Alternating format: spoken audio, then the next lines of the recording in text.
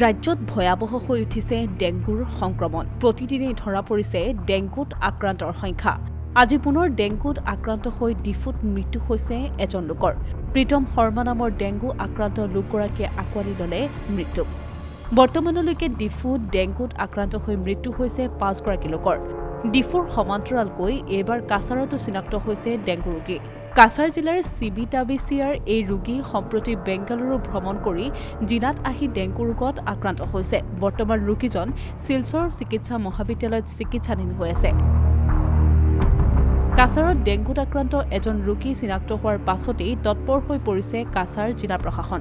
ইতিমধ্যে জিলা উপায়ুক্ত কাৰ্যালয়ত এখন বৈঠকৰ জৰিয়তে জাৰি কৰা হৈছে কেতবোৰ নীতি নিৰ্দেশনা। লগতে সকলোকে সতৰ্ক থকাৰ বাবে আবেদন জনাইছে কাছাৰ জিলা উপায়ুক্ত ৰোহন কুমাৰ ঝাই। ইয়াৰ লগতে মেৰাপানী সীমান্ততো ডেংগুৰ সংক্ৰমণ লৈছে ভয়াৱহ ৰূপ ডেংগুত আক্ৰান্ত হৈছে এগৰাকী মহিলা। মহিলাগৰাকী কিছুদিন ধৰি জ্বৰত আৰু মূৰৰ বিষত ভুগি আছিল। পৰিয়ালৰ লোকে গোলাঘাট কুশল কোঁৱৰ অসামৰিক চিকিৎসালয়লৈ নিয়াৰ পাছত গোলাঘাটৰ চিকিৎসক মুকুল শৰ্মাই কিডনী বিকল বুলি কৈ ডায়েলিচিছ কৰিবৰ বাবে ডিব্ৰুগড়লৈ প্ৰেৰণ কৰে। কালি ডিব্ৰুগড় মেডিকেল কলেজৰ পৰা মেৰাপানী অসামৰিক চিকিৎসালয়লৈ ৰোগীজনৰ ডেংগু পজিটিভ ৰিপৰ্ট অহাত চিকিৎসকে পৰিয়ালৰ লোকক জানিবলৈ দিয়ে। মেৰাপানী পঞ্চৱতী গাঁৱৰ মহিলাগৰাকীৰ নাম টুনটুন দাস।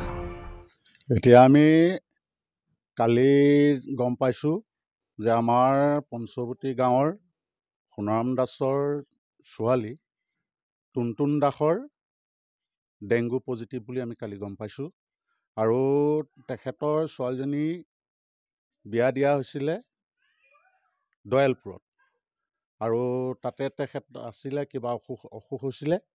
সেই অসুখৰ মতে তেওঁ ডিব্ৰুগড় নিছিলে ডিব্ৰুগড়ত ডায়লচিছ কৰি আছিলে আমি সেইটো গম পাওঁ। আৰু এতিয়া কালি গম পাইছোঁ ছোৱালীজনী ডেংগু পজিটিভ। সেয়ে আমি ভয় খাইছোঁ কাৰণ ডেংগুটো এটা মাৰাত্মক বেমাৰ। আৰু এতিয়া আহি আমাৰ গাঁৱত প্ৰথম ডেংগুৱে প্ৰাদুৰ্ভাৱ হৈছেহি। সেয়ে মই চৰকাৰকো অনুৰোধ জনাওঁ যে আমাৰ গাঁওখনক ডেংগুৰ পৰা পৰিত্ৰাণ কৰিবৰ কাৰণে যিখিনি ব্যৱস্থা কৰিব লাগে সেইখিনি যাতে কৰে আৰু যি আঁঠুৱাৰ ব্যৱস্থা বা আঁঠুৱাত দৰৱ দিয়া ব্যৱস্থা সেইখিনি কৰি আমাক যাতে গাঁওখনক ৰক্ষা কৰে সেয়ে মই চৰকাৰক অনুৰোধ জনাইছোঁ। অসমীয়া প্ৰতিদিন ডিজিটেল